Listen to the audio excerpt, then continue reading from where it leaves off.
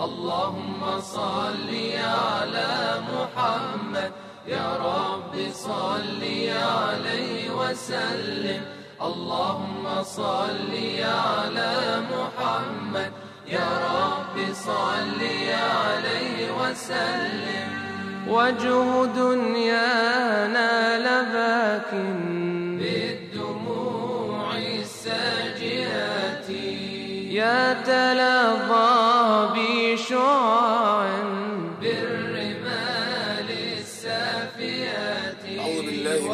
الشيطان الرجيم. بسم الله الرحمن الرحيم. الحمد لله رب العالمين. وصل اللهم وسلم وبارك على محمد وعلى آله وصحابته أجمعين. أما بعد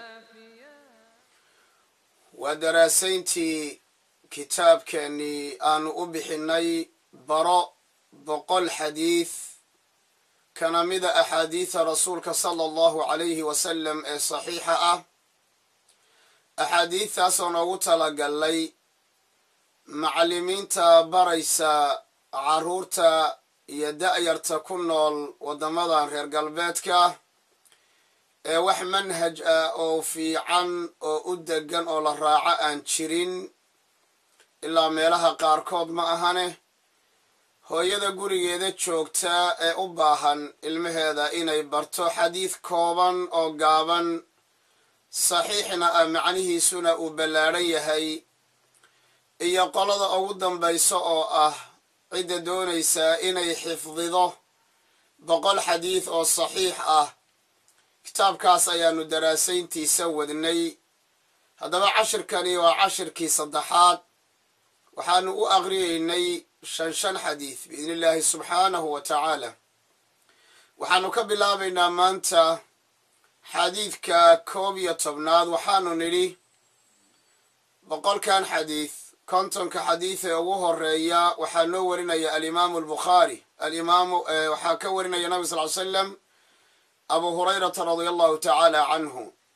Qeyb ka mida waa bukhaariyo muslim qeyb ka midana waa muslim qeyb ka midana waa bukhaari عن أبي هريرة رضي الله عنه أن رسول الله صلى الله عليه وسلم قال حق المسلم على المسلم خمس رواية كالنوي نوعية كاليت الماميان رد السلام وعيادة المريض واتباع الجنائز وإجابة الدعوة وتشميت العاطس xadiidkani bukhaari iyo muslim ayaa soo saaray min xadiidi abi hurayrata radia allahu canh xadiidka adaan ku celiyo matnigiisa ana rasuula allahi sala allahu alayhi wasalama qaal xaqu lmuslimi cala almuslimi khamsun.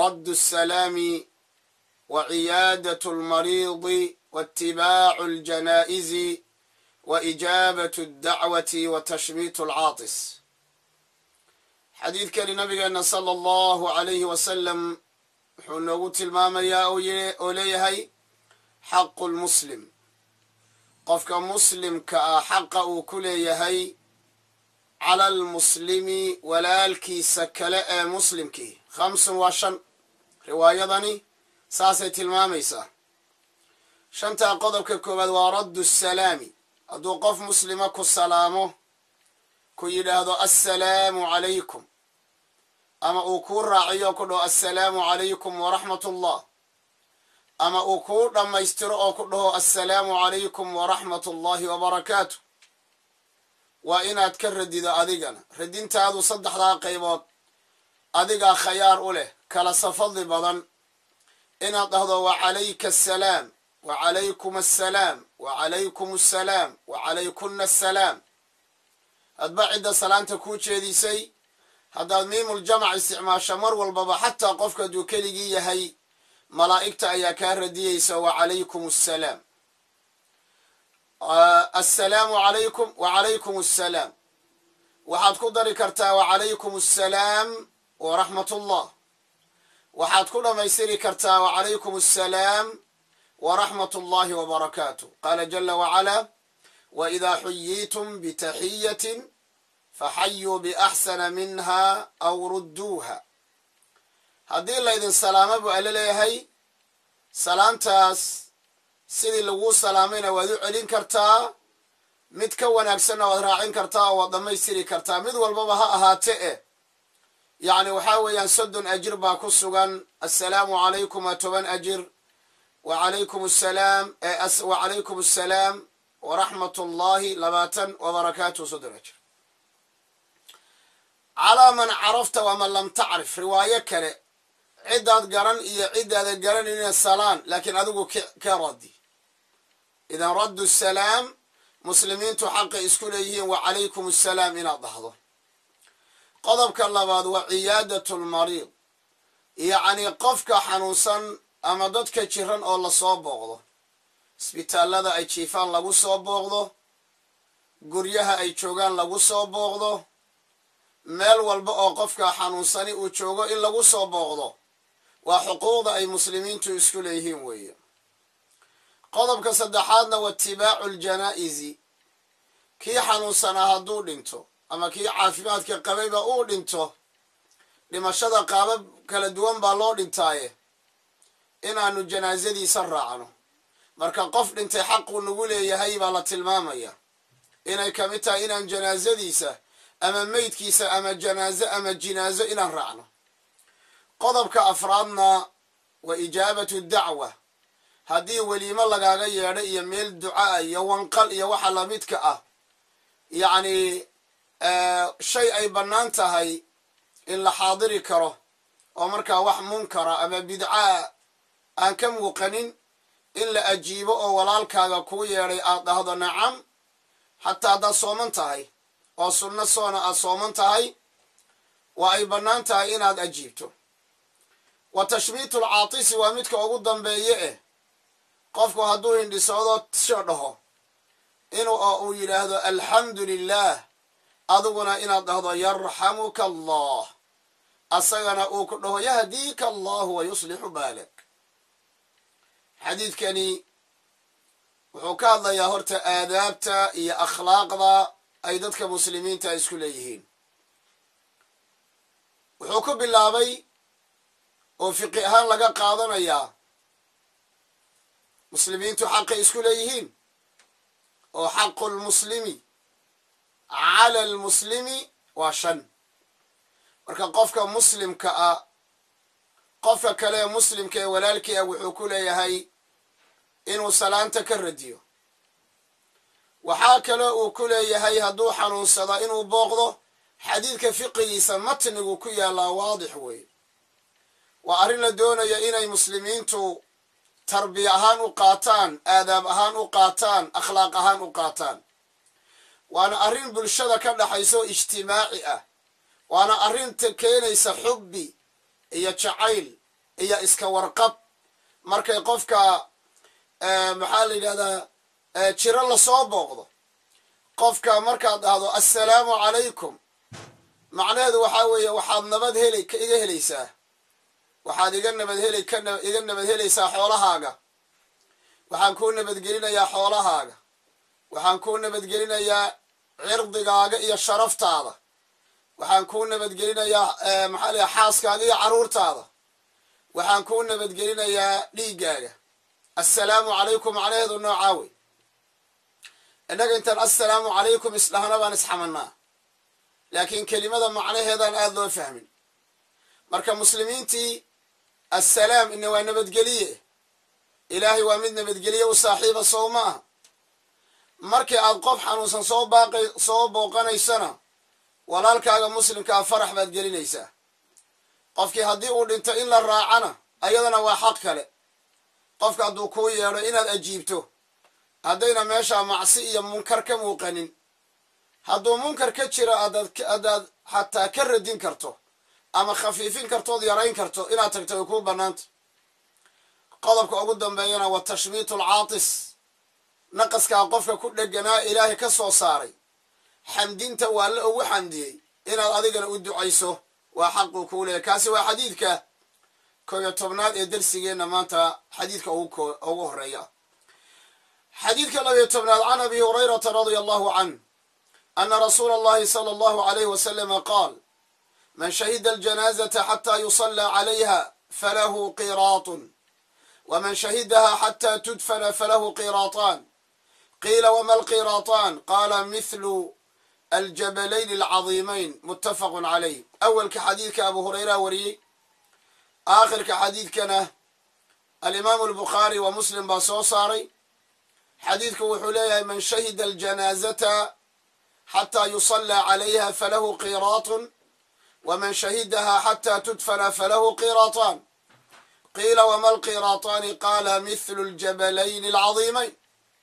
Nabigeena sala allahu alayhi wa alih wasalam wuxuu leeyahay man shahida aljanaazata qof dhintay qofka xaadira goobjoogna u noqda. Inta lagaga tukanayo hataa yusallaa calayha inta lagaga tukanaya baad la joogtay yacni qof dhintay baad xaadirtay markaasaad la joogtay inta lagaga tukanayo. Waad la tukatay. Qofkaasi falahu qiraatun qiraad buu leeyahay. Qiraadka gadaal baan ka sheegi doonaa maxaa yeele nabigaa la weydiiyey sala allahu alayhi wasalam waman shahidaha qofka geeri xaadira qof dhintay xataa tudfana inta laga aasayo qofka la jooga. Macnaha waad ku tukatay haddana qabrigii baad u raacday markaasaad wax ka duugtay falahu qiraataan qofkaasi labada arrimood sameeye laba qiraad buu leh saxaabadu way garan waayeen waxa qiraad laga wado. Qiila wama alqiraataan rasuulka ilaahay ow qiraataan maxaa laga wadaa? Qiraadku asalkiisu qadaadiicda iyo lacagta jacabka a la yidhaahdaa halkan laakiin ajir baa loo jeedaa wuxuu yidhi waa mithlu ljabalayni alcadiimayni waa ajrun ka mithli ljabalayni alcadiimayn. Waa ajir la eg laba buuroo waaweyn oo buurta uxud oo kale ah ama buur xakabo oo kale ah laba buuroodoo la eg laba buuroodoo ajir laba ajiroo intaa la eg oo laba buurood la eg buu qofka asagaa shaqaysta.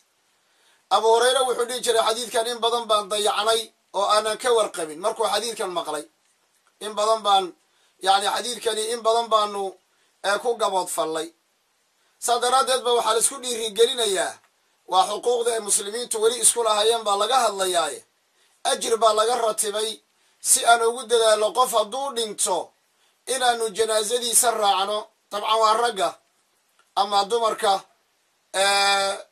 waxay leeda umu catiya waana laga reebay inaan meydka raacno laakiin nalaguma adkaynin laakiin raggaa la doonayaa inay meydka duugaan biidn illaahi subxaanahu jala wacala xadiidka saddexii tobnaad can abi hurayrata radia allahu canhu qaal maa caaba annabiyu sala allahu alayhi wasalam طacaaman qatu in ishtahaahu akalahu wa in karihahu tarakah aan ku celiya xadiidka maa caaba annabiyu sala allahu alayhi wasalama طacaaman qatu in ishtahaahu akalahu wa in karihahu tarakah abu hurayre wuxuu leeyahy radia allahu tacaala canhu ardaah maa caaba annabiyu sala allahu alayhi wasalama nabigu weligii ma ceebaynin طacaaman qatu raashin loo keenay weligii nabigu ma ceebaynin oo waxba kama sheegin. Cusbaa ku badan ama way ku yar tahay ama ma qurux badno ma wanaag weligii nabigu raashin loo keenay waxba kama sheegin muxuu samayn jiray laba mid un in ishtahaahu akalah hadday naftiisu jeclaato waa cuni jiray. Wa in karihahu taraka. Haddii ay naftiisu nacdona waa ka tegi jiray asagoon ceebaynin nabigeena sala allahu alayhi wasalam weli waxaanu ku dhex jiraa axaadiidta ka warramaysa aadaabta. Xadiidkani wuxuu ka hadlayaa aadaabta iyo akhlaaqda iyo anshaxa qofka muslimka laga doonayo. Gaar ahaan aadaabta iyo akhlaaqda raashinka ku saabsan. Ina diintu wax walbay ka hadashay raashinka sida loo cunayo iyo gacanta lagu cunayo iyo xataa calooshooda intaad u qaybinayso iyo raashinka inaadan wax ka sheegin waxaasoo dhan waxa weeyaan waa waxay shareecadeenu ay ka hadashay. Marka nabigeena sala allahu aleyh wasalam raashin loo keenay weligii waxba kama sheegin. Maxaa yeelay waa nicma nicmada ilaahayna in wax laga sheegaa lama ogolo naftaadu ma rabtaa cun. Naftaadu ma cuni weyda iskaga tag. Waa xadiid tarbiye ah oo inaan tarbiyo wada adag ku qaadano la doonayo. Macallinku uu baro ilmaha uu macallinka u yahay. Waalidku uu baro ilmaha uu dhalay. Ee maalin walba raashinka qubaya tuuraya wax ka sheegaya inuu baro waana xadiid kooban oo la xifdin karo tilmaamayana nicmada ilaahay uu noo galay inaan lagu kufrin akhlaaqda nabi maxamedna tilmaamaya sala allahu alayhi wa ali wasalam xadiidka afar iyo tobnaad. Can abi hurayrata radia allahu canhu ana rasuula allahi sala allahu aleyh wasalama qaal xujibat innaaru bishahawaati wa xujibat iljannatu bilmakaari axaadiidkoo kooban gaagaaban oo saxiixaynka ku yaalla macmacaan macno ballaadhan leh kelimo kooban leh alfaadooduna ay aruursan tahay macnahooduna ay ballaadhan tahay. Qofka qalbiga gashadana ilaahay uu nuur gelinayo. Maxaa yeelay axaadiida rasuulka qofka xifdiya qalbigiisana nuur buu alla geliyaa wejigiisana ilaahay waa ifiyaa. Subxaanahu wa tacaala. Nabigeena sala allahu aleyh wasalam wuxuu leeyahay xujibat innaaru. Naarta waxaa lagu hareereeyey.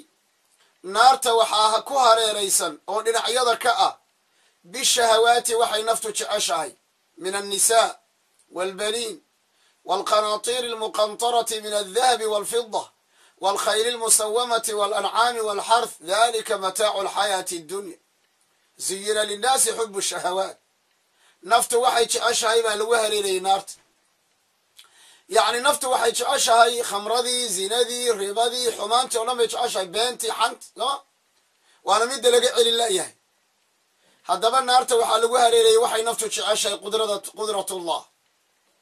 Wa xujibat iljannatu bilmakaarih. Jannadana waxaa lagu hareerayay waxay naftu necab tahay. Salaada subax soo kac saddexda habeennimo soo kac weysayso salaad tuko qur'aan aqri yacni waa mas'alo xaaraanta ka tag zinada ka tag khamrada ka tag. Waxay naftu jeceshahay oo dhan ay nacayso oo dhan. Ayaa mataqaanaa jannada lagu hareereeyey yaa marka jannada geli kara yaa jannadu waa qaali soo ma aha? Qofkii naftu waxay jeceshahay ka qabta oo ka celiya. Siduu nebigu yidhi addunyaa sijnu lmu'min adduunyadu qofka muuminkaa xabsi bay u tahay. Ha fiirinin indhaha laabo ha cunin caloosha ka ilaali halka tallaabada ha samaynin. Qofka muuminka ah adduunyada waxay u tahay sijni. Wa jannatu lkaafir gaalku wuxuu rabuusa sameeyaa laakiin aakhiro markii la taguu mu'minku raaxaysanayaa gaalkuna cadaab abadi ah ayuu gelayaa nacuudu billahi jala wacala. Idan xujibat innaaru bishahawaat wa xujibat iljannatu bilmakaari. Maxaa nooga baahi badan xadiidkan macnihiisa inaan barno? Da'yarteenna iyo dhallinyaradeenna iyo nafteenna. Waqti shahawaadka iyo naftu waxay jeceshahay. Maanta ay meel walba ay taallo tifigii iyo kombyuutarkii iyo iphonadii facebookyadii maanta shaaricii iyo waddadii wax alla waxay naftu jeceshoo dhan baa qofkii maanta loo dhibyareeyey oo waddada xaqa a ka leexinay. Fa amaa man khaafa maqaama rabbihi wanaha annafsa can ilhawa fa ina aljannata hiya alma'wa. Wa amaa man khaafa maqaama rabbihi wanaha annafsa can ilhawa fa ina aljannata hiya alma'wa laakiin wa amaa man taqaa wa aathara xayaata addunya fa ina aljaxiima hiya alma'wa. Naftu marka haddaan la xakamaynin naftu waa ammaara bisuu qofka nafta waxay amraysaa xumaan oo dhan bay amraysaa ina annafsa la ammaaratun bisuu ilaa maa raxima rabbi. Marka nafta waa in lala dagaalamo la xakameeyo la celiyo. Si ayna waxay naftu jeceshahay ayna u raacin. Xujibat innaaru bishahawaat wa xujibat iljannatu bilmakaarih marka naartu inay abuurantaa laga qaadanaya waa masale caqiide ah. Jannada iyo naartu hadda way abuuran yihiin oo way joogaan. Naftu inay cadow insaanka u tahayna xadiidka laga qaadanaya. Naftu waxay jeceshahay inay naar ku gashana xadiidka laga qaadanaya. Jannadu inay abuuran tahay oo hadda joogtaa laga qaadanaya. Jannada inaan ciyaar ciyaar lagu geline nafta dagaal lala galay darteed in janno lagu gelayabaa laga qaadanaya. Nabigeenna sala allahu aley wasalam wuxuu leeyahay man khaafa adlaj waman adlaja balaga almanzil alaa ina silcata allahi haaliya alaa ina silcata allahi aljanna. Waxaa lagu tusaalaynayaa tusaalayaa badan. Qofka reer baadiyaha garanayo yaqaan markaad guuraynayso markaad meel bannaan oo ban ah oo mana ah oo aan biyo lahayn colaadna laga baqayo marka ay kugu soo baxdo habeennimaa la gooyaa. Waxaad u danaynaysaa xoolahaad wadato naftaada waxaad wakhti aroor ah ayaa waxaad tegaysaa meeshii aad rabtay. Jannaduna waa nooca. Qofka doonayo inuu janno galo habeenkii ma seexdo. Habeenkii qayb ka mida waa guureeyaa. Markaasuu nabigu yidhi alaa ina silcata allahi haaliya alaa ina silcata allahi aljanna. Xadiidka shan iyo tobnaad.